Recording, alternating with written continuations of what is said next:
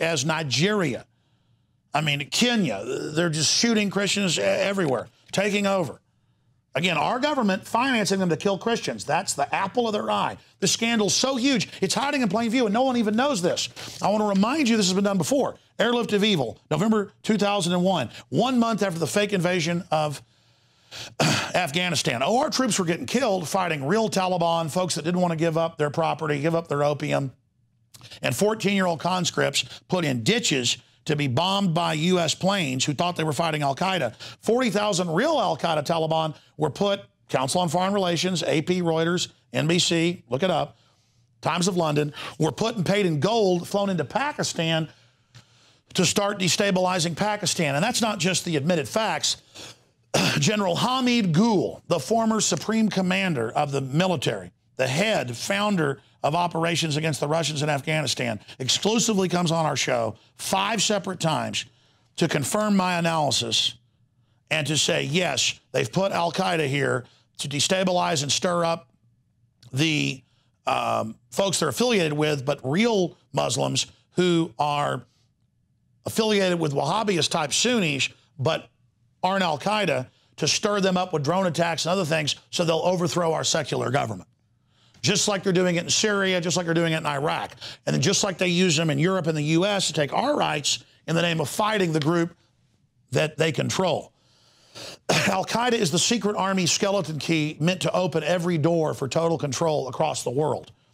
So there's the airlift of uh, evil article. There it is. British special forces caught dressed up as Arab terrorists in 2006, 7, and 8. They got caught dressed up by Iraqi police attacking and shooting Shiites so they could cause a war between Shiites and Sunnis and get a civil war going. Again, same story, BBC, Guardian, they all had to report on that operation when it got blown wide open. So if they can't get Al Qaeda into an area to stir stuff up, they'll dress up with the big bin Laden beards, the turban on their head, the black flags, and go do it. We've shown you photos uh, of those guys. They had to have tanks go into the Iraqi jail and blow it up just to get these guys out because they were being interrogated and it all came out. So that's why we know how this works. You want to make trillions off defense contracting? No bids? Put Al Qaeda in. Sure, some of the real Al Qaeda hate Americans and even get killed. They're dumb grunts too. They don't know the big picture. I talk to retired generals and they go, Yeah, that's the plan. That's what generals really talk about, Alex. You're right. That's the great strategy. I have to talk to three star generals to, to people understand this, and it's so simple. I have conversations at night with congressmen, senators, generals, folks who are scared to come on my show, and that's fine, but who want to talk to me because they know I understand this. I'm not bragging. I don't understand why I understand all this military stuff and the general public can't figure it out. It's so simple. I, I mean, I just do not understand it. This is in plain view. It's totally evil. And the public's like, gee, it's terrible. A secret Al Qaeda army with thousands of vehicles just showed up and is blitzkrieging and is taking major cities and is about to take Baghdad on Friday the 13th. How did they do it? Why do they have American arms? Oh, it sucks. They picked them up on the ground. This is insane. It shows the globalist. This is the beginning of World War III through proxy wars. Just like they put Nazis in control of Ukraine, overthrew it. Obama called it duly elected. And then when the Russians fight back, they're terrorists. I'm not siding with the Russians, but they're not doing all this. Uh, it's incredible how dangerous this is. World War II started with proxy wars. World War I started with proxy wars. I have been having dread, as you know, with all the stuff we see, but also in my gut, folks. And I think this weekend is going to be very serious. We need to be watching this very closely. Iran is saying they're going to send troops and They've already sent in three brigades into Iraq, right over their border.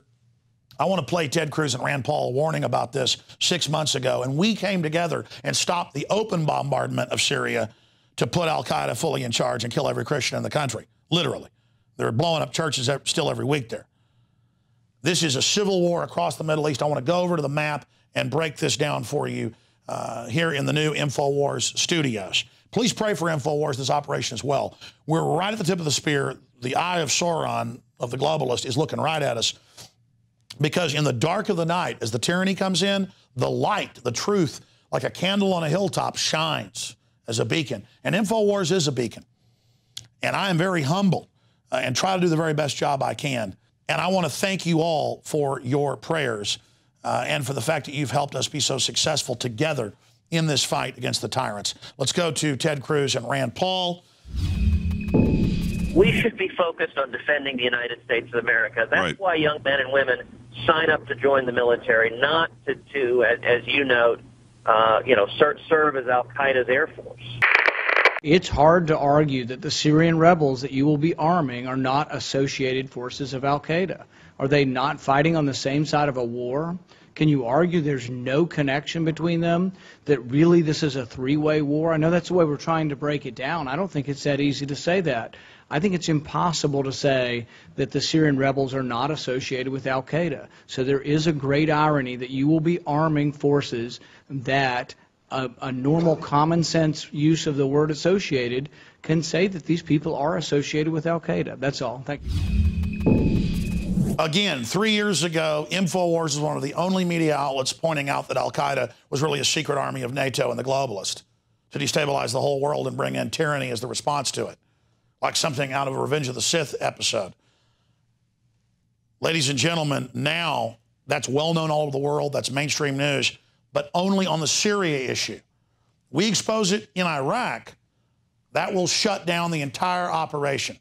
And again, I want there to be sovereign nations. I don't want to have one global power bloc that takes over Russia and takes over Iran, especially if it's the Saudi Arabians, the worst in the Middle East, their, their government, not their people, that are going to run it all. I, I mean, no, I'm not a villain.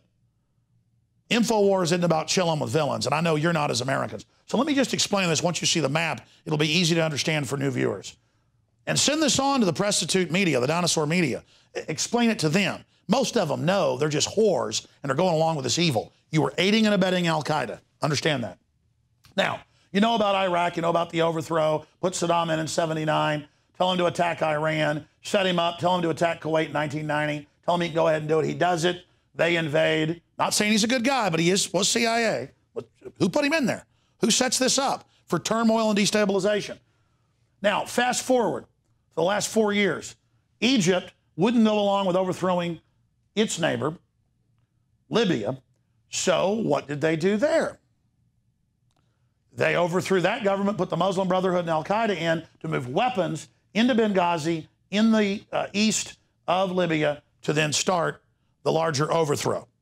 Now it's under Sharia law, under Al Qaeda control. The Al Qaeda flag flies in most cities there. That's on record. We showed you those articles. Mainstream news admits that. Okay, so our government bombarded Libya and did all that to put Al Qaeda in charge. It's just continuing. Then, since Egypt didn't play ball, again, they helped put them in there, but the Egyptian military threw them out because I guess they're bad. They don't like Al Qaeda, like me. Now, let's continue. Then we've got uh, over here uh, you've got Iraq, you've got Syria, you've got Jordan, you've got uh, areas of Lebanon, Israel, all of this going on. Now, right here in Western Iraq, in the last three years, the U.S. military and contractors were told to give weapons, missiles, you name it, to Syrian Al Qaeda rebels to go across and attack Syria. They want to create a new country, that's this ISIS group, in between Syria and Iraq, a new Wahhabist Saudi Arabian cancer satellite right here out of part of Syria and part of Iraq. Eastern Syria, Western Iraq. Okay? Breaking the country up. But instead, they're just going for it all, probably to end up cutting the country in two, which was one of the Pentagon plans to make this part of Saudi Arabia, see Saudi Arabia? Boom, part of Saudi Arabia. And then, again, carving out their own little operation right in here. That's what they get is they get their own little kingdom for doing this, and then Saudi Arabia gets all this. That'll all be the same thing. Okay, well, Iran doesn't like that because they're the Muslim minority, Shiite, about 19%. This is about 79% uh, Sunni, and, and, and Wahhabists are the enforcers of that. You know, 15 of the hijackers come from here, we attack Iraq. Now the people that supposedly attacked us on 9-11, we take over Iraq for them. You understand how evil this is? So this is a proxy war. And this is meant to take down Iran, Russia, everybody else. This is the elected Iraqi government not doing anything to us. It's being overthrown by a NATO, Saudi Arabia, Obama, globalist backed regime.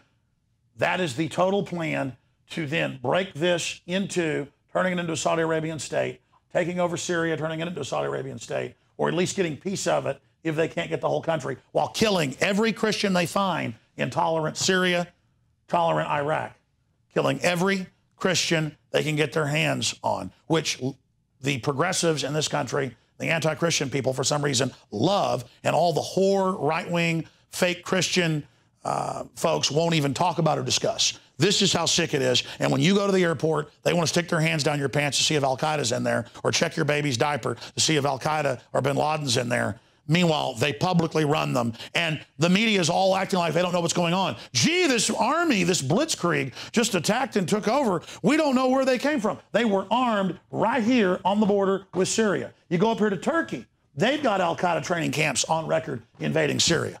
Al Qaeda is being given bases everywhere, just like they were in Pakistan by the CIA. The CIA doesn't work for America, folks. It works for special globalist monopoly interest. Now, that's our breakdown. This report is very important. Uh, this humanitarian crisis is just so massive right now. And they're also taking Saudi Arabian Wahhabists into areas of Sudan and other areas while claiming they're fighting radical Islam and going into the rest of Africa, into Kenya, all the way over to the western coast of Nigeria. These groups work for the globalist, not our government, criminal groups above it. And it's a fact. You now have been given exactly what's happening on this Friday the 13th. Let's go from our new studios over to Studio B with Leanne McAdoo and the conclusion of InfoWars Nightly News for this Friday the 13th, 2014 transmission. And remember, if you're watching or listening to this transmission, you are the resistance. Thank you, Alex. Well, let's close the show with some good news. Less than 24 hours after the Food Babe launched her petition on the Alex Jones radio show yesterday, the big beer makers responded. Anheuser-Busch posted ingredients for two of their most popular beers, and they say that they'll post the others soon. Now, Miller Coors announced that they'll be following suit. So, of course, no doubt they responded so quickly to this story because they didn't want it to get legs, of course, through the media, the way the whole Subway story went. That one just launched. So, they only released the ingredients for their two most popular beers, which just so happen to have pretty basic beer making ingredients. We will have to just wait and see if some of those other beers include the plain de icing liquid that um, Food Babe says is being used in a lot of these beers.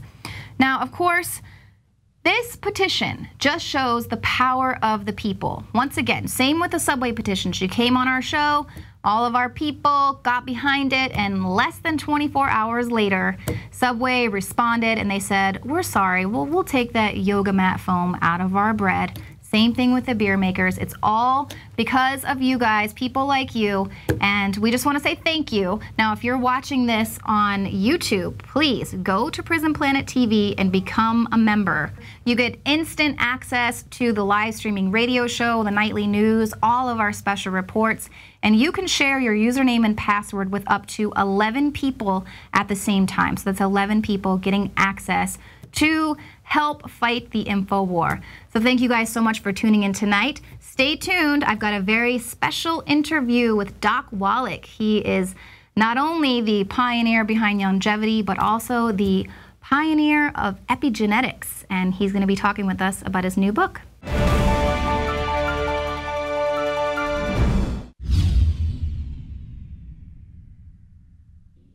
From the water table to our soils to the atmosphere itself, our world is becoming more and more toxic each and every day. But it's not just the air outside that's toxic. Indoor air has been shown to have two to five times higher concentrations of pollutants than even outdoor air. And most Americans spend 90% of their time inside using toxic chemicals within their homes. There are more than 42 million smokers in the United States. Well over a thousand types of mold and mildew linked to numerous conditions. And don't forget the fact that 6 million Americans Americans live with pets they're allergic to as well. When I began to research these statistics, it was clear to me it was time to start cleansing my lungs in order to combat the toxic environment that we cannot escape but that we can fight back against. Made with organic and wild cultivated herbs and manufactured in the USA, the new InfoWars Life Lung Cleanse is here in a convenient spray bottle that can be brought with you throughout any toxic environment. Now available exclusively at InfoWarsLife.com or by calling toll-free 888-253-3139. Introducing Pro One. All of your filtration in one system, portable